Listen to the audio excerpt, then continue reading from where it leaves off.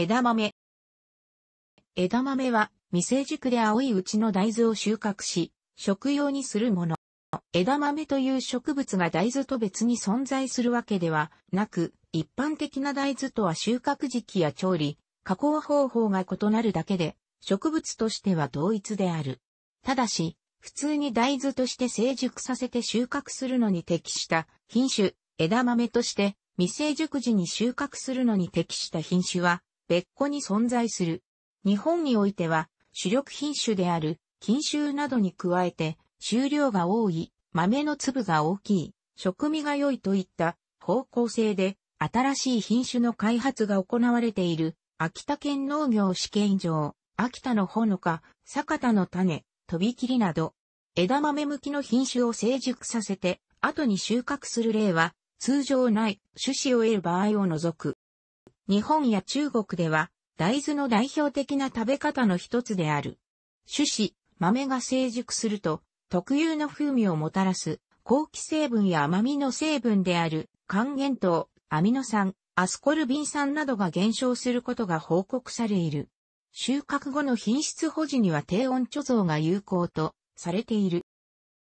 最も典型的な調理法である。しばしば鞘に入ったままの豆を枝付きで茹でたことから、枝豆という呼び名の由来ともなった歴史の項も参照のこと。現在でも枝豆といえばこの塩茹でを指すことが多い。調理は極めて簡単で大きく分けて二つの方式がある。また、近年では調理後冷凍した商品も出回っており、小売店の冷凍食品売り場などで目にすることができる。枝豆の塩茹では、酒、特にビールのつまみの定番として知られる。大豆に豊富に含まれるタンパク質などはアルコールの分解を助ける働きがあり、枝豆をつまみにするのはありにかなっていると言われる。また、冷凍食品としては、鞘から取り出した豆の部分だけのものも見られる。生のままでは硬い枝豆を食べやすくする調理法としては、炙ったりいったりした焼き枝豆や漬物などもある。茹でた枝豆を潰して、あん状にしたもの。ずんだを餅にまぶしたずんだ餅は、宮城県、山形県など、南東北の名物の一つになっている。詳細はずんだの項を参照。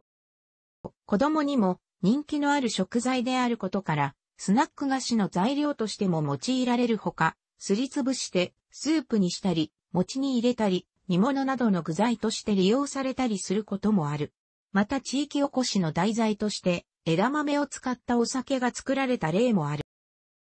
兵庫県篠山市や和歌山県木の川市、友淵地区においては黒豆の未熟なものを黒枝豆として食べることがある。茹でる前も茹でた後も一般の枝豆ではおなじみな鮮やかな緑色ではなく茹で上がり後ですら鞘の中の豆は黒みがかった緑色である。異質な見た目に反して味は極めて良い。その見た目の異質さと味の良さから様々なメディアで取り上げられたこともあり、枝豆愛好者などへの知名度も高い。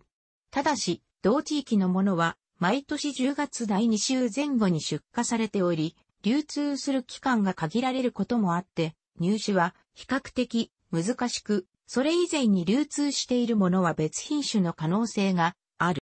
なら、平安時代にはすでに現在の形で食されていたとされている。鎌倉時代の僧、日蓮が寄進を受けた信徒に宛てた、霊場、松野殿女房ご返事には、略、枝大豆、エビネ、作りの物球美総来ぬとある。江戸時代には夏になると路上に枝豆売りの姿があったという。現在のように枝から鞘を外した状態ではなく、枝についたままの状態で茹でたものが売られており、当時はその状態で食べ歩いていることから、現代のファストフードのような存在だった。この状態のものを枝付き豆、または枝なり豆と呼び、それが枝豆の名前の由来とされている。近年の健康志向に伴う日本食ブームの影響もあり、枝豆でも特に塩茹でなど簡単な調理法のものは2000年頃から次第に北米、ヨーロッパなどの日本以外でも食べられるようになっている。イギリスなど英語圏では、枝豆は、または、と呼ばれ、米国ニューヨークなどの日本風の居酒屋では、定番のアッペタイザーとして振る舞われ、オーガニックフード店やアジア食材を置く店でも気に入手することができる。また、アメリカンフットボールや野球を観戦しながらつまむ食べ物としてスタジアム内の売店でも買うことができるところもある。中華料理では、毛豆と呼ばれ、豆ひげ豆総きゅうりなどの食材としても広く使われている。海外でインターネット検索された和食キーワードランキングでに挟まれ、が2位を獲得。健康食として世界に注目される食品になっている。観光や仕事などで来日した外国人が好んで食べる傾向にある。豆自体が世界各国で食されており、親しみやすい味であること、自ら皮を剥くという変わった食べ方、皮自体も柔らかく食べやすいという理由から食されている。また、子供の食育の一環としても注目されている。野菜を食べたがらない子供が枝豆が飛び出る姿を面白がり、遊びながら食べられる小さいサイズで口に入れやすい柔らかく食べやいという利点がある。楽しくご覧になりましたら購読と良いです。クリックしてください。